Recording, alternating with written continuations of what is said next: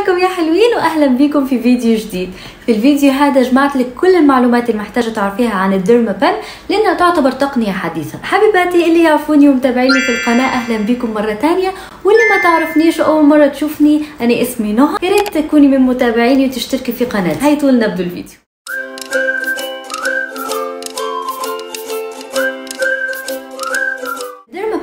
الفيديو شنو تدير هي تدير تجديد لخلايا البشرة.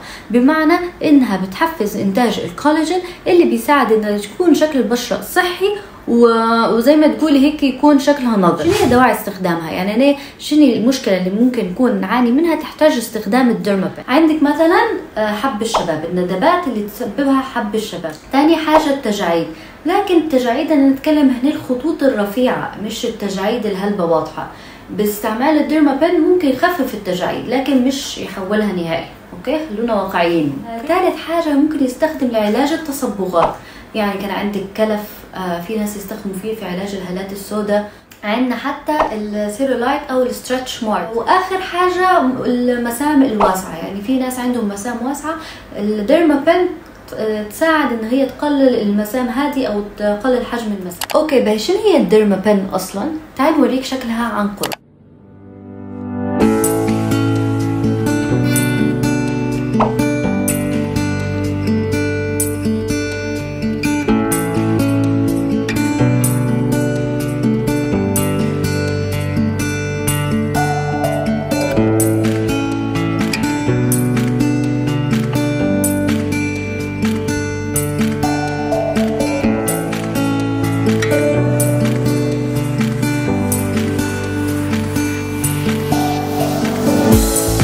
عبارة عن مجموعة من الابر اللي قلت مصنوع من الحديد الصلب غير قابل للصدى. شو بتدير آه، بتدير زي جروح بسيطة في طبقة الجلد الخارجيه السطحية مش حتخش للطبقات الداخلية. بس في الطبقة الخارجيه هذه فطبيعة الجلد ان هو لما يصير له اي جرح بي بيصير عملية التئام الجروح وإفراز الكولاجين. هذا هو اللي نبوه إن الجلد يفرز كولاجين باش يساعد على التئام الجروح هذه وفي نفس الوقت يعطي النضارة والحيوية للبشرة. هل بتقعد الجروح هذه فترة طويلة؟ لا. عادة بعد الجلسة بفترة بسيطة يعني تاني يوم مش هتلاقي الجروح هذه ولا في دم ولا في أي حاجة. المفروض تعرفيها قبل الجلسة إنه لازم تهتمي إنك ما تكونيش يكون بشرتك نظيفة ما تحطيش make up بكل قبل ال session ممنوع ولازم كان انت حاسة ان بشرتك تحتاج. المفروض ان الدكتورة قبل ما تديلك ال session تاكد إن بشرتك نظيفة فبتنظف لك بشرتك آه تنظيف بسيط قبل ما تبدأ ال session بشرة مش نظيفة ممكن تديلك التهابات okay؟ فلازم تأكدي أول حاجة إن بشرتك نظيفة. ثاني حاجة وحاجه مهمة هلبة إن هذه الإبرة هي استعمال شخصي ليك يعني ال Dermapen ال head بتاعها هذا استعمال شخصي ليك.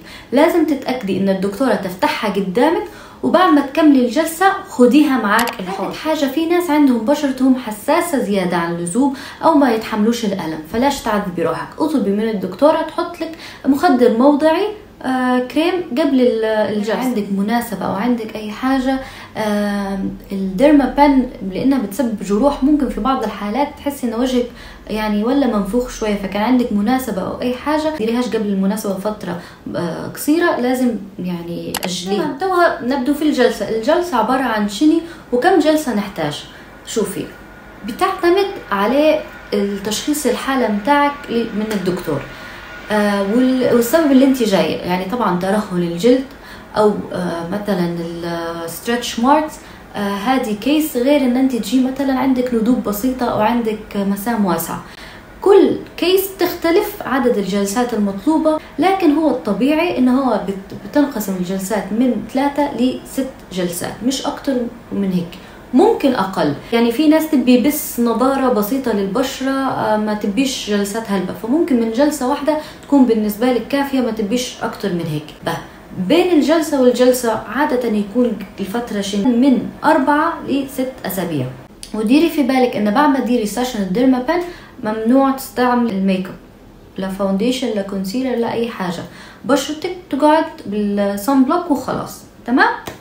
والحلوين اللي بشرتهم حساسة وخايفين من الألم نبي نقول لك إن الألم محدود. ليش؟ لأن الإبر هذه بتدير آه، جروح في الطبقة الخارجية من الجلد مش حتكون آه، داخل الجلد هلبة فيعتبر ألم محدود يعني ما تخافيش okay؟ في ممكن الدكتورة تقول لك إن نبي نحط مثلا vitamins أو hyaluronic acid مع الجلسة وهذا في دكاترة هلبة يديروا فيها. باش يدير لك يعني زي آه، أحسن نتيجة للجلسة. وهذا ني حاجة بصراحه يعني نحس فيها مهمة إلى حد ما. فأنت أسألي الدكتورة شنو هو المناسب لبشرتك والحالة متاعك؟ آه، قبل ما تبدي ال session يعني شوفي أفكار الدكتورة شو بتعطيك وأنت قرري. هيك نكونوا كملنا الفيديو بتاع اليوم. إن شاء الله يكون عجبكم. كان عجبكم ما تنسوش ال like and subscribe وإن شاء الله نتلاقوا في فيديو جديد. باي باي